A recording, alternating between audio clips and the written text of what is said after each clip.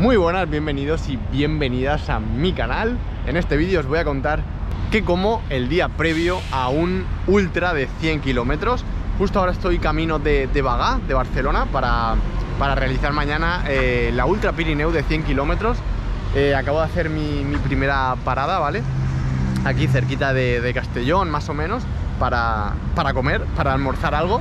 Así que nada, en este vídeo básicamente os voy a contar lo que voy a comer este día previo y, y, también pues siendo el día de viaje, ¿no? Que es un poco más complicado y seguramente eh, pues habría cosas que no comería o comería mejor si estuviese en casa. Pero bueno, espero que os guste y como siempre que os sirva. Vamos a ver qué como de camino a Ultra Pirineu.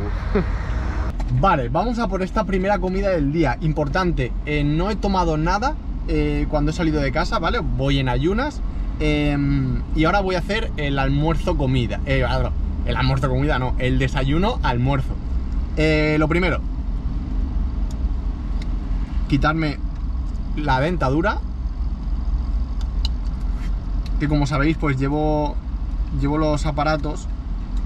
Los aparatos y, y, para comer me los tengo que quitar.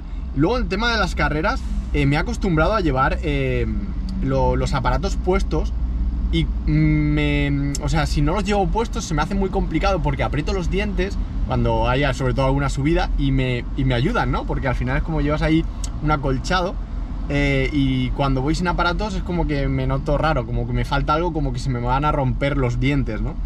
Pero bueno, curiosidades. Vale, primera comida del día.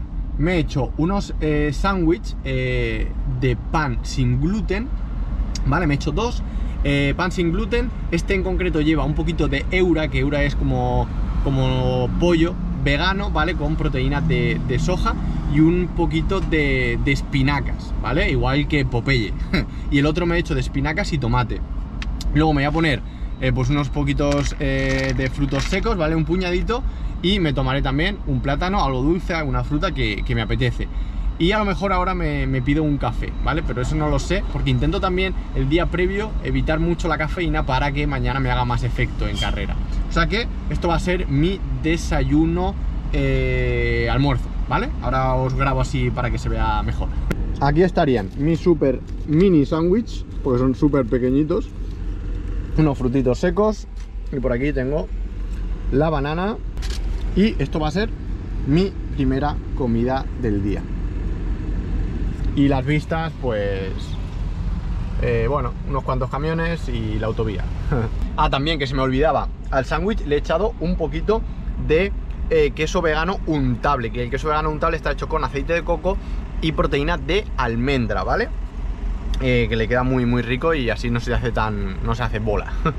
Bueno segunda segunda parada que hacemos de, camino a Bagá.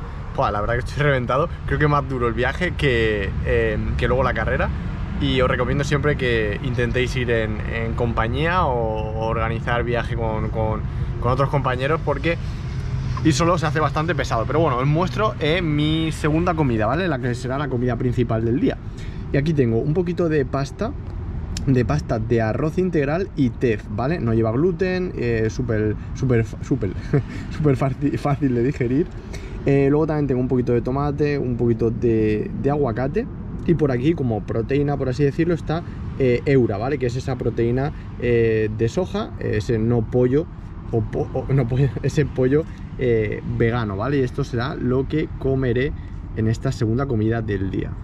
Y también, punto muy importante, el hidratarse muy bien ese día previo a carrera y sobre todo eh, en el viaje, ¿no? Que a lo mejor pues se nos olvida o se nos pasa, yo siempre llevo aquí la botellita y voy bebiendo agua eh, ya que eh, pues eso debemos llegar mañana en las mejores condiciones posibles obviamente lo ideal hubiese sido viajar antes eh, y este día pues haber descansado ¿no? el día previo descansar bien, comer bien, hidratarse bien pero bueno, cuando tenemos que hacer el viaje pues al menos intentamos comer bien, hidratarnos bien y descansar pues dentro de lo posible aunque el viaje ya por sí cansa ¿no?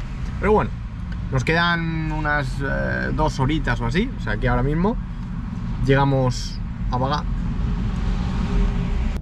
bueno, hemos comido, hemos echado gasolina, también me he pedido al final un café porque me estaba quedando durmiendo y este es el peor momento cuando comes y ahora te entra esa morriña, eh, así que nada, vamos a afrontar esas dos últimas horitas o así que quedan hasta Bagá, pero uf, se, hace, se hacen pesados estos viajes, ¿eh?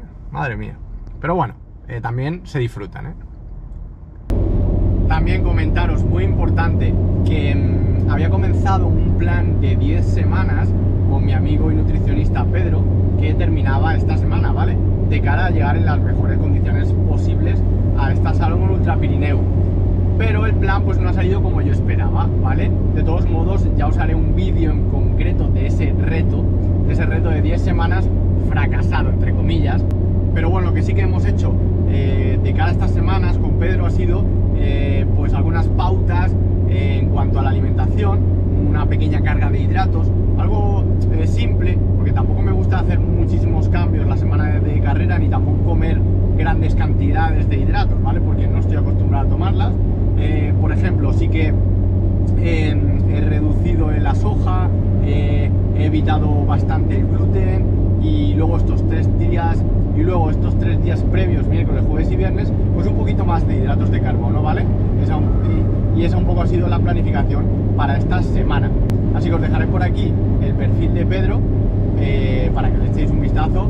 Es un chaval súper majo, que hace súper bien. Como digo, no ha salido como esperábamos el reto, pero ya os contaré el porqué. Así que suscribiros al canal para no perderos el vídeo de ese reto de 10 semanas que acabó en fracaso. Bueno, esta es mi cena, un poquito de quinoa, boniato, tofu y un, tomate. Y aquí tenemos, señor, aquí tenemos a Manel, compañero Manel de habitación y de carrera también. Se ha, comido, se ha, comido, un chuletón, que no mientas. Que él tiene un poquito ¿no? de pasta, pasta, y atún, ¿no? Atún, maíz. Genial.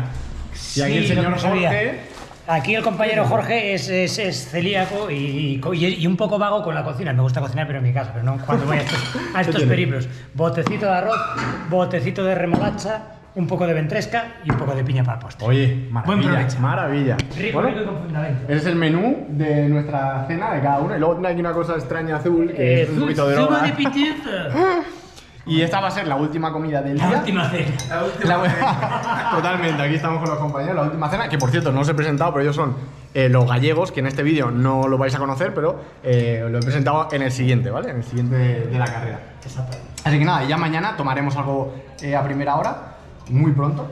Que ¿Tres de la mañana? Tres de la mañana o así. Y esta va a ser, pues, la comida. Las misiones del Ultrarrun, no os metáis en esto, espero que la droga.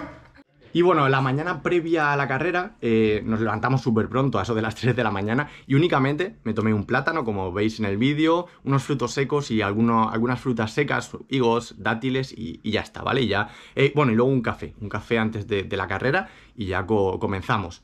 A ver, la conclusión de, este día previo, de esta alimentación, es que me sentó bien, pero claro, el día de la carrera eh, que ya veréis en el vídeo siguiente, obviamente no os voy a hacer spoiler, pues eh, fue bastante horrible, ¿no? Las sensaciones y lo pasé mal, pero claro, no creo que, este día previo haya sido el detonante, sino que ha sido de, pues eso, de estas semanas, el cansancio, eh, no he descansado quizá lo suficiente, no he entrenado del todo bien y la alimentación no la he llevado como a mí me hubiese gustado, no he podido cumplir ese reto, por diferentes motivos que ya os contaré en el vídeo del reto, ¿vale?